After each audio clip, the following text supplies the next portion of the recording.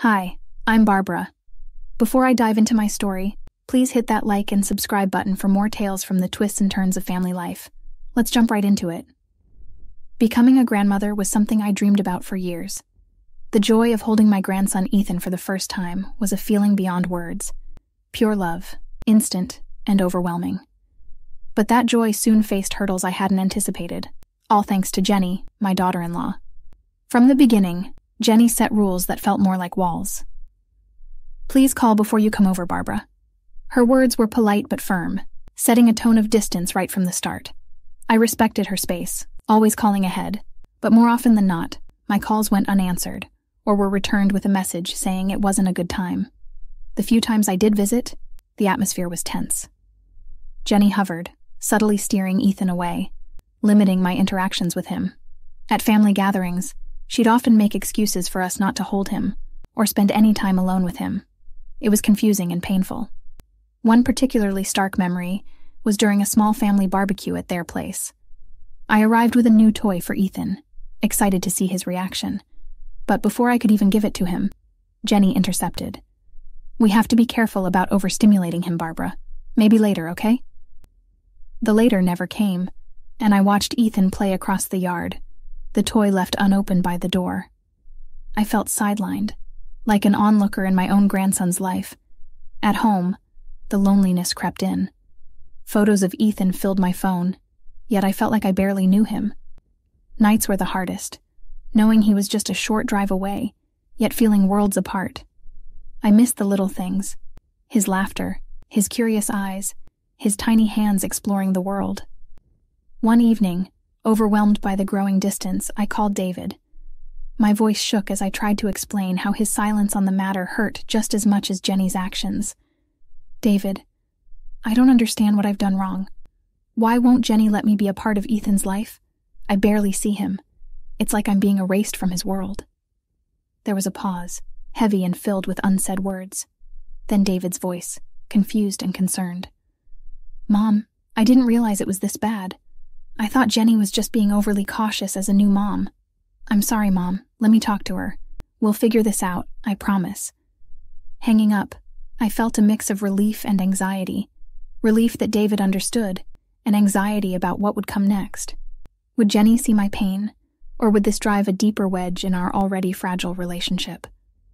That night, I looked through my photos of Ethan again, a silent plea in my heart that soon I wouldn't just be watching his growth through a screen, but would be part of his life, laughing and playing alongside him. As I closed my eyes, I hoped for a better tomorrow, one where my family felt whole again. During a rare visit, I arrived just as Ethan was waking up from his nap. His little face lit up at the sight of new people, but the warmth in Jenny's eyes didn't reach mine. Ethan's just woken up, so let's try to keep this visit quiet and calm. The undercurrent in her voice was clear. This was not my time. I was merely a guest, an observer in my grandson's life. I nodded, swallowing the hurt, watching Ethan play, his laughter echoing around the room a sound so sweet yet so distant. As I left their house that day, the brief goodbye from Jenny felt like a door quietly closing, locking me out. The drive home was a blur, tears stinging my eyes as I navigated the familiar streets that somehow seemed longer and lonelier than ever before. At home, surrounded by silence, the walls seemed to echo with the emptiness of my days. My friends spoke excitedly of their grandkids, of days spent baking cookies, trips to the park, bedtime stories, simple joys I was barred from experiencing. The pain of exclusion gnawed at me, turning days into long stretches of solitude. One evening, unable to bear the quiet of the house, I picked up the phone and dialed David. The phone rang, each tone heavy with the hope and fear of what I needed to express. David, it's me. We need to talk. It's about Ethan and how things are going. Mom, is everything okay? No, it's not. It's been months, and I've only seen Ethan twice. It's breaking my heart, David. I feel like I'm being pushed out of his life, and it hurts more than I can say. Mom, I. I didn't realize. Jenny said she was giving you space, thinking it's what you wanted. Space? I don't need space for my grandson, David. I need to be part of his life to watch him grow. Not from a distance, not through pictures. I miss him terribly. I'm so sorry, Mom. I thought Jenny was handling everything well. I didn't see. I promise I'll talk to her tonight. We'll sort this out. Thank you, David. I just want to be a grandmother to Ethan, that's all. I want to share in his life, not watch it pass me by. Let me fix this, Mom.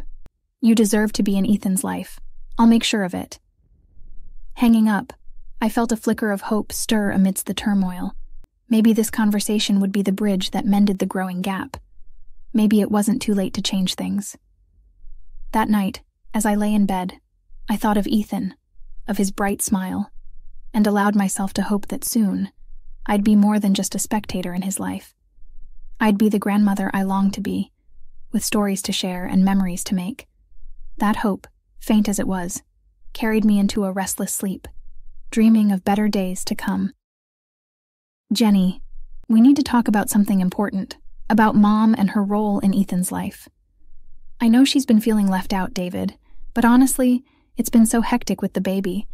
I just thought it was easier if we kept visits short and less frequent. But why, Jenny? Mom's hurt. She thinks you're deliberately keeping Ethan away from her. She's missed so much already. I'm overwhelmed, David. Every day is a marathon. I didn't want to burden your mom more, or have her think I'm dumping Ethan on her when I'm too tired to cope. But that's just it, Jenny. Mom doesn't see spending time with Ethan as a burden. She wants to help, to be involved. She loves him, just like we do. I just.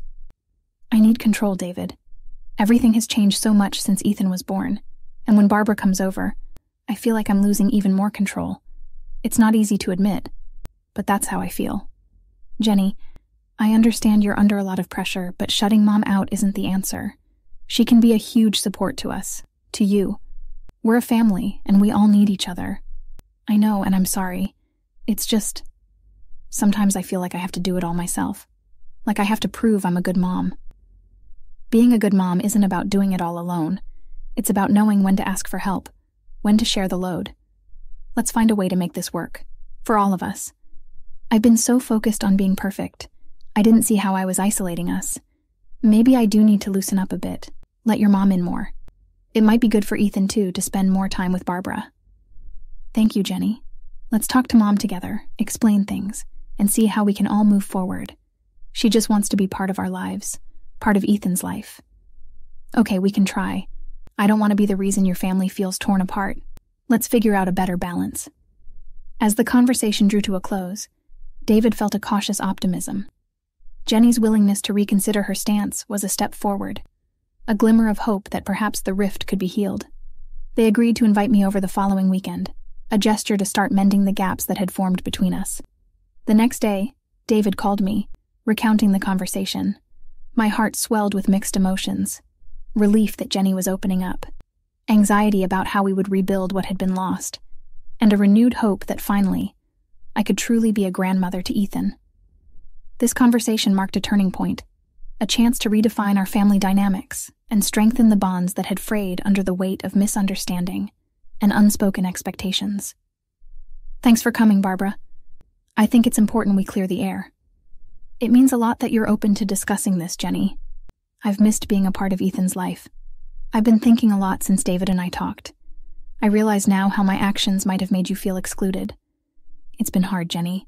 All I've ever wanted was to be a loving grandmother, to support you and David, and to cherish Ethan. I know, and I'm sorry for keeping you at arm's length. After Ethan was born, everything felt so overwhelming. I was trying to keep control, and I thought by managing everyone's involvement, I could handle it better. I can understand that, but I felt pushed away. It hurt, feeling like I was losing not just Ethan, but part of my family too. I see that now. I was so wrapped up in my own anxiety, I didn't consider your feelings. I was wrong, and I'm sorry, Barbara. I want to fix this. Thank you, Jenny. Hearing that from you means more than you might realize. David, who had been quietly observing the exchange, nodded with relief. Maybe we can start finding ways for Barbara to spend more time with Ethan, like regular visits or even a day each week. That sounds wonderful. I'd love that, really. And Jenny, if there's ever anything you need help with, I'm here. Not just for Ethan, but for you too. I'd appreciate that. And maybe you could show me some of those parenting tricks you used to mention. I think I could use a bit of that wisdom now. Absolutely. I'd be happy to share. And I could learn a thing or two about being a grandparent in today's world from you as well. As we talked, the tension that had once clouded the room began to lift, replaced by laughter and shared stories of parenting, of mistakes and triumphs. Jenny and I started planning our first Grandma Day, a day where I would take Ethan to the park and spend some quality time together. David's face lit up seeing us interact like this, his family knitting back together in front of his eyes. This is all I ever wanted for us to be a family that supports each other. As the meeting drew to a close, Jenny gave me a hug, a gesture that sealed our new understanding and commitment to move forward together. I left their house that day not just as Barbara, but as Grandma, a title I hold dear and now could embody fully, with the love and trust of my family restored. This heartfelt discussion was a turning point, reminding us all of the power of communication and the strength of family bonds. As I drove home, I felt a weight lift from my heart, replaced by excitement for the future. The road had been rocky, but now it was leading us to a better place. Together. Look, Grandma, I made a castle. Ethan's excitement filled the air as we played in the sandbox at the local park. That's amazing, Ethan. You're quite the architect, aren't you? Every giggle, every moment spent teaching him how to plant flowers or bake cookies, deepened a connection that had been denied for too long. It wasn't just about making up for lost time, it was about building new memories, ones that would become foundational to his childhood. At family gatherings, where once I had felt like an outsider, I was now right in the midst of it all. Ethan's second birthday party was a testament to the changed dynamics. Jenny had helped me decorate the backyard with balloons and streamers, a joint effort that symbolized our mended relationship. Can you help me with the pinata, Barbara? Ethan's been looking forward to it all week. Of course, Jenny. Let's make sure it's hung just right for the little ones. Reflecting on the journey one evening while sorting through photos from the party, I realized how vital communication had been in healing our wounds. It was David's willingness to mediate, to not choose sides, but to open a dialogue that had guided us here. David, I just want to say thank you again for everything, for not letting our family break apart. Mom, I'm just glad you and Jenny talked it out. Seeing you with Ethan, seeing how happy he is, it's all I could ask for. As Ethan grew, so did his curiosity and love for the stories I shared about his dad's childhood, stories that brought peals of laughter and wide eyed wonder. Grandma, was Daddy really afraid of the dark? He was, just a little until he got his superhero nightlight, just like the one you have. Each story, each shared secret, wove a tapestry of family lore that Ethan absorbed eagerly, linking past and present. Now, as I watch Ethan grow, not just as a bystander, but as a central figure in his life, the pain of the past seems like a distant memory. The joy of reconciliation, of restored relationships, overshadows the initial misunderstandings and stands as a testament to the strength of our family bonds. In this journey, we learned that the foundations of family are never too shaken to rebuild, that the heart's capacity for forgiveness and love is vast, and that communication is the key to unlocking these doors. As I close this chapter of our lives, I look forward to the many chapters yet to be written, filled with laughter, love, and the occasional life lesson, shared not just with Ethan, but with David and Jenny too as we navigate the beautiful complexities of family together. That's the end of our story about overcoming family misunderstandings and building stronger bonds. Now, I have a question for you all. Have you ever had a misunderstanding with a family member that affected your relationship? How did you resolve it? Or is it still unresolved? Your stories and insights could help others facing similar challenges. Don't forget to hit that like button if you found this story moving and subscribe to stay updated with more content like this. Share your thoughts and experiences in the comments below. We'd love to hear from you.